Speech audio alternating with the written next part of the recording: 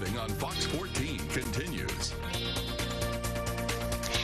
And welcome back. I'm here with Abby Stewart and Jenny Burnham with the Masur Museum, and they're here to tell us about the Off the Wall 2019 fundraiser. Abby and Jenny, thank you so much for joining us. It's great to have you. Thank you for having Uh, us. Jenny, I'm going to start with you. When is the Off the Wall event? Off the Wall is this Friday night. Uh, it's from 6 to 9 p.m., so April 12th. At the Masur Museum? At the Masur Museum. And Abby, this is a great way to showcase our local artists. Can you tell me the features that are going to be there this year at the event? That's right. Well, we have every year we have. Um, it depends on how many um, donations we get in, but a little under 200 works of art is what we usually have on the walls. Am I right about that? Yeah, it's a lot of work. So it's kind of we take over the entire downstairs of the museum. We remove the current exhibition and put up all the art. And it's it is local artists, as you mentioned, but it's also artists from um, other areas as well. okay. Um, we have artists from other states who mail in donations to us, Mm-hmm. and um, they either do a 50% donation to the museum or 100% donation to the museum.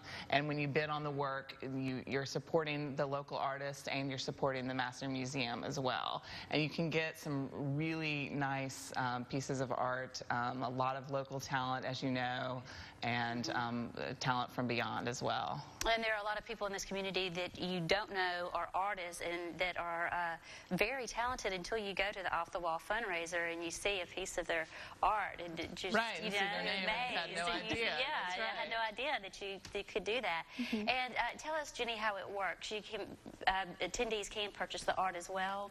Yeah, um, so the the auction is a silent auction, Mm-hmm. so we'll have artwork and bid sheets all of, uh, along the walls, uh, and people can bid on the art all throughout the night. Auction ends at 9 o'clock, um, and then they get to take their home, uh, take their art home immediately uh, off the wall.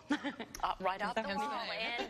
And they also have the chance to enter two great raffles. Yeah. That's what are the right. raffles this That's year? right. So um, every year we have the Bon Voyage trip raffle, which is a chance for a trip worth up to $3,000 to anywhere you want to go.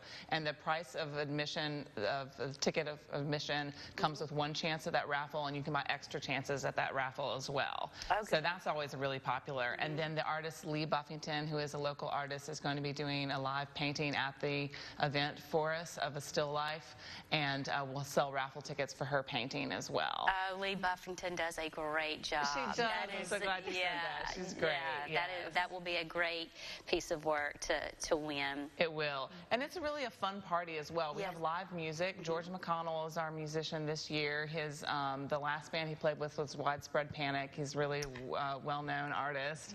Yeah, Wow, he's, he's great. He lives in Oxford, Mississippi, and he's coming in for the event. So he'll be our musical entertainment for the night.